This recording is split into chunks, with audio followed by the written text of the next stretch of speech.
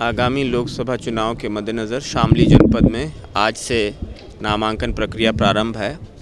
और इस पूरी प्रक्रिया में जो तकरीबन सात आठ दिन चलेगी, उसके लिए हमने भारी फोर्स तैनात की है और इस पूरी नामांकन प्रांगण को आइसोलेट किया गया है बैरिकेडिंग के माध्यम से। और जो गाइडलाइन है कि 100 मीटर की परिधि के बाहर ही प्रत्याशी और उनके प्रस्ताव इत्यादि रोके जाते हैं और वहाँ से प्रत्याशी के साथ केवल चार लोगों की एंट्री अलाउड होती है तो उसके मद्देनज़र सड़क पे 100 मीटर दाएँ और 100 मीटर बाएँ तरफ़ बैरियर लगे हुए हैं और सबकी सघन चेकिंग की जा रही है। कलेक्ट्रेट परिसर में कोई ऐसी व्यक्ति या वस्तु या वाहन ना आए जो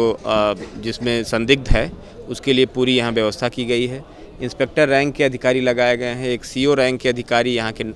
प्रभारी अधिकारी हैं और हमारे जो एडिशनल एसपी हैं, जो नोडल हैं चुनाव के, वहाँ पे, यहाँ पे पूरी व्यवस्था देख रहे हैं। उन्हीं के नेतृत्व में सारी चीज़ें चल हम लोग सुनिश्चित करेंगे कि नामांकन पूरी तरह से शांतिपूर्ण रहे और कोई अराजक व्यक्ति या वस्तु इस परिसर में प्रवेश ना करने पाए। उसके लिए चप्पे चप्पे पे हमने अपने पुलिस कर्मियों को और अधिकारियों को मैं असलहा और लाठी तैनात किया हुआ है।